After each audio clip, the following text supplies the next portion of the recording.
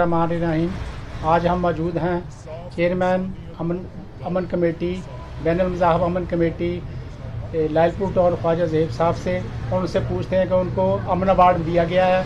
उनके और उनकी क्या खिदमत है कि उनको अवार्ड दिया गया? हाँ जी, ख्वाजा साहब। बिसमीम सबसे पहले मैं भट्ट साहब आपका मशहूर हूँ कि आप ये मेरा इंटरव्यू कर रहे हैं।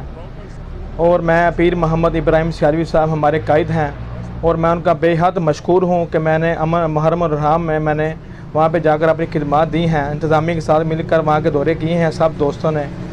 और मैं पीर साहब का बहुत ही मशहूर हूँ। ये हमारे चेयरमैन हैं पूरे पाकिस्तान के पीर मोहम्मद इब्राहिम सियालवी साहब जो हैं। और मैं भी एक वर्कर आदमी हूँ मैं, अल्हम्दुलिल्लाह। और मैं इनके साथ अपनी खिदमत से अंजाम देता ही रहूँगा इन बहुत शुक्रिया जी। असल भाई बात यह है कि आप क्या समझते हैं कि ये बैन मज़ाहब अमन कमेटी है या क्याम अमन के लिए, सिक्योरिटी अदारों की मदद के लिए या पाक फौज की मदद के लिए, पुलिस की मदद के लिए काम कर रही है? जी इन ताला हमारे पीर साहब के हुक्म के मुताबिक तमाम जो मेम्बरान आई वो इंतज़ामी के साथ खड़ी है और इंतज़ामी भी इंतज़ामी भी इस बात का मशहूर समझती कि ये जो अमन कमेटी के बंदे हमारे साथ काम कर रहे हैं। और मैं पीर साहब का बहुत मशहूर हूँ, जिन्होंने मुझे अवार्ड से नवाजा मैं।